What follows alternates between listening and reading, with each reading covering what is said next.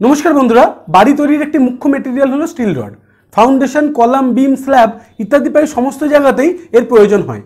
অনেকেই top class কোম্পানির rod ব্যবহার করেন বেশি টাকা খরচ করে, আবার অনেকেই চান সস্তার মধ্যে লোকাল কোম্পানির রড ব্যবহার করতে। কিন্তু টপ ক্লাস কোম্পানি হোক কিংবা লোকাল কোম্পানি উভয় ক্ষেত্রেই কিছু বেসিক ডিটেলস এবং কিছু কোয়ালিটি চেক আপনাকে অবশ্যই করে নিতে হয়। প্রথম কারণ হলো, সেটি অরিজিনাল কিনা, সেটি যাচাই করার জন্য, এবং দ্বিতীয় কারণটি হলো, তার quality as per Indian standard আছে কিনা, সেটি জানার জন্য। কারণ বিভিন্ন নামি দামি কোম্পানির ডুপ্লিকেট প্রোডাক্ট অলরেডি মার্কেটে ছেয়ে গেছে। তাই অরিজিনাল থেকে কীভাবে ডুপ্লিকেটকে চিনবেন সেটি আমরা এই ভিডিওতে আলোচনা করব। মনে রাখবেন, বাড়ি একবারই তৈরি হয়, তাই কোয়ালিটির সঙ্গে কখনোই কম্প্রোমাইজ করবেন না। তাই এই ভিডিওর শেষে আমি এমন কিছু কোম্পানির নাম বলব, যেগুলি বহু বছর ধরে কোয়ালিটি কন্ট্রোল করে আসছে। তাই এই ভিডিওটি একদম শেষ পর্যন্ত দেখতে থাকুন।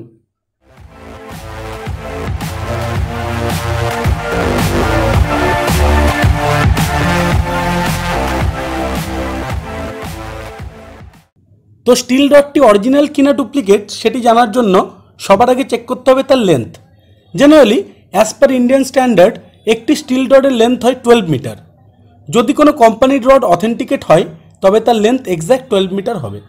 অনেক সময় কিছু স্টিল রডের length eleven metre ten metre বা নাইন মিটার ইত্যাদি হয়।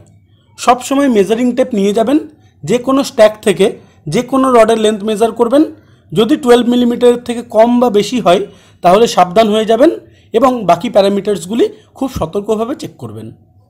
দ্বিতীয়ত, প্রতিটি company manufacturing test certificate issue করে। স্টিল রড কেনার আগে আপনার ডিলারের থেকে অবশ্যই টেস্ট সার্টিফিকেট চান। সেখানে স্টিলের সমস্ত ডিটেলস লেখা থাকবে।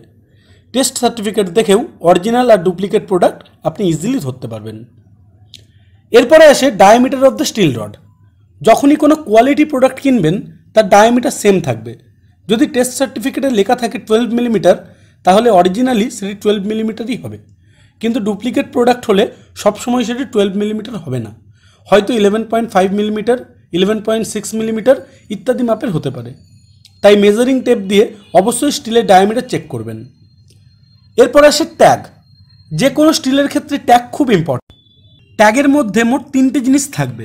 প্রথমটি হলো আইএসআই মার্ক দ্বিতীয়টি হলো গ্রেড অফ দ্য স্টিল এবং তৃতীয়টি হলো কোম্পানির লোগো বা কোম্পানির নাম। যে কোনো ভালো কোয়ালিটির স্টিল বা অরিজিনাল স্টিলে অবশ্যই আইএসআই মার্কটি থাকবে। এই আইএসআই মার্কটি প্রমাণ করে যে স্টিল ডটটি ইন্ডিয়ান স্ট্যান্ডার্ডের রুল ফলো করে তৈরি করা হয়েছে। তাই অবশ্যই যখনই স্টিল ডট কিনবেন, আইএসআই মার্কটি দেখে তবেই কিনবেন। এছাড়াও, আইএসআই মার্ক ছাড়াও স্টিলের গ্রেড সেখানে লেখা থাকবে, যেমন Fe five hundred Fe six hundred D ইত্যাদি। তাই স্টিলের গায়ে আইএসআই মার্ক এবং স্টিলের গ্রেড অবশ্যই দেখে নেবেন এবং টেস্ট সার্টিফিকেটের সঙ্গে সেটি ক্রস চেক করেও দেখে নেবেন। ধরুন টেস্ট সার্টিফিকেটে লেখা আছে এফি ফাইভ হান্ড্রেড ডি অথচ স্টিলের গায়ে লেখা আছে এফি ফাইভ হান্ড্রেড তাহলে সেটি অরিজিনাল নয়। এই ক্রস চেকগুলি অবশ্যই করবেন। যদি আপনি স্টিলের গ্রেড সম্বন্ধে না জানেন, তাহলে আপনি এই ভিডিওটি দেখতে পারেন। এই ভিডিওতে স্টিলের গ্রেড এবং অন্যান্য টেকনিক্যাল প্যারামিটার্স ডিটেলসে আলোচনা করা আছে। এই ভিডিওটির লিঙ্ক উপরে কার্ডে এবং নিচে এই ভিডিও ডিসক্রিপশনে দেওয়া রইল। যাই হোক আইএসআই মার্ক এবং গ্রেড অফ স্টিল ছাড়াও যে কোম্পানি স্টিল কিনবেন, তার নামও স্টিলের গায়ে লেখা থাকবে। যেমন এই স্টিলের গায়ে লেখা আছে SAIL SeQR five hundred D এবং আইএসআই মার্কটিও দেওয়া রয়েছে।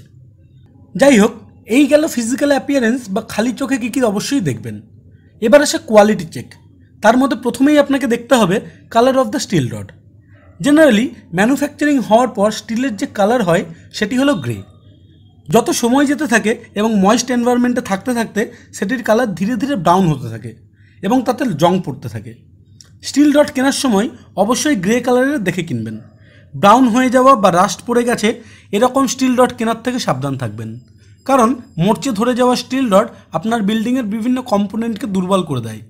তাই কখনোই স্টিল রড কিনে এনে খোলা জায়গায় ফেলে রাখবেন না এবং মরচে ধরে স্টিল কখনোই কনস্ট্রাকশনে ব্যবহার করবেন না। কারণ এগুলি আপনার স্ট্রাকচারের ক্ষেত্রে খুবই ডেঞ্জারাস এরপরে আসে ওয়েট টেস্ট আমরা জানি স্টিলের ওয়েট হলো D square by one sixty two kg per metre এই ফর্মুলার সাহায্যে আমরা যে কোনো স্টিল রডের ওয়েট মেজার করতে পারি, যেখানে ডি হলো diameter of the steel bar যেমন ধরুন এইট মিলিমিটারের স্টিল রডের ওজন হলো W equal to eight square by one sixty two kg অর্থাৎ zero point three nine five kg per metre as per Indian standard এবার আপনি যে কোনো এইট মিলিমিটার স্টিল রডের থেকে এক মিটার কেটে নিন। তারপর ওয়েট মেশিনের সাহায্যে সেটির ওয়েট করুন।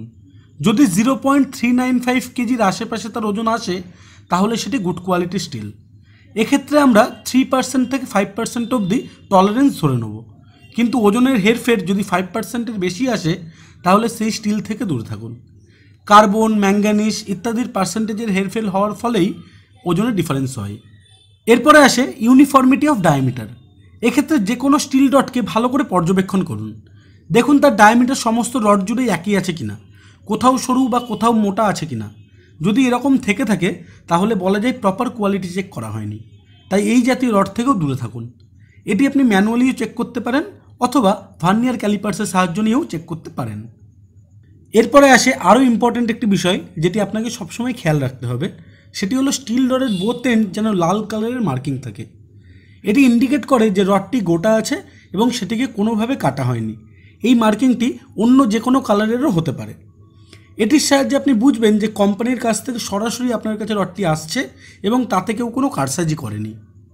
এরপর সবশেষে আসে আজকের ডিসকাশনের সর্বশেষ বিষয়, সেটি হলো বেন্ডিং টেস্ট স্টিল ডটকে একবার সম্পূর্ণ একশো আশি ডিগ্রিতে বেন্ড করুন। তারপর লক্ষ্য করুন যে ওই বেন্ডিংয়ের জায়গায় কোনো ক্র্যাক এসেছে কিনা। যদি ক্র্যাক আপনি খালি চোখেই দেখতে পান, তাহলে তৎক্ষণাৎ সেই স্টিল ডটকে রিজেক্ট করুন। ভালো কোয়ালিটির রড কখনোই একটা বেন্ডিংয়ে ক্র্যাক করে যাবে না।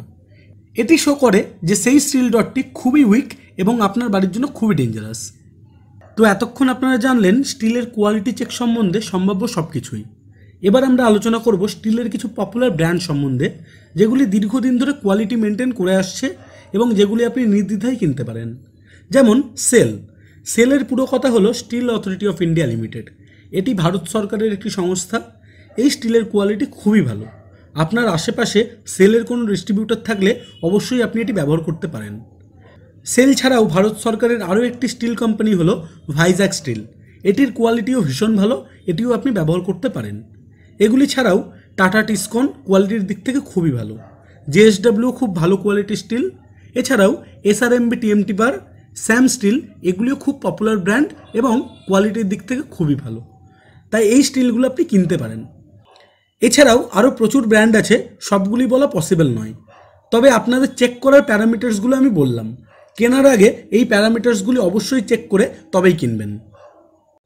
যাই হোক, স্টিলের কোয়ালিটি নিয়ে বেশ কিছু কথা আপনাদের বললাম এবং কিছু পপুলার ব্র্যান্ডের নামও বললাম। আশা করছি ভিডিওটি আপনাদের উপকারে আসবে। যদি ভিডিওটি ভালো লাগে, তাহলে অবশ্যই একটি লাইক করতে ভুলবেন না।